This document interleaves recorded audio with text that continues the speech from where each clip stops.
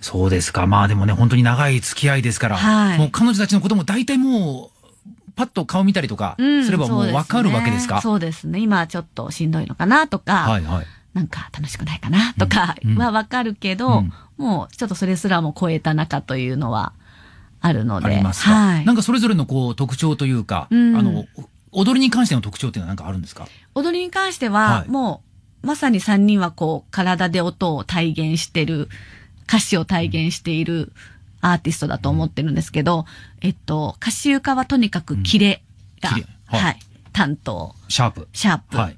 で、ノッチは、えっと、曲線、滑らかさというか、はい。ライン担当で、はい。あーちゃんはビートというか、はい。そうですね、リズム担当って感じがうん。私の中ではしてて、3人が重なってちょうどいい気持ちいい音がするっていう。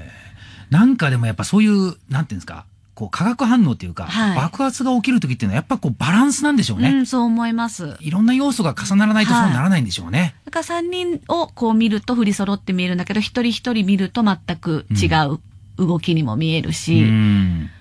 とても個性的だなと思います。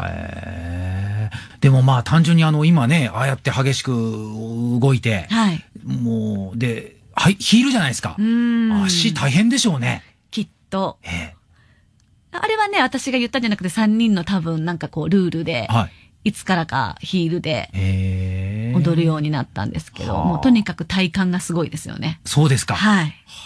やっぱりこう、たくましくなってますか？もうめちゃくちゃなってます。あのヒールで3時う間ん。ずっと走り回ってるようなもんなので、うん相当辛いと思います。そうですよね。えー、でも3人、まあ、プラス1人、この4はい人のチームでずっとやってきた中で、はいなんかこう一番印象深いことってあります？うーん。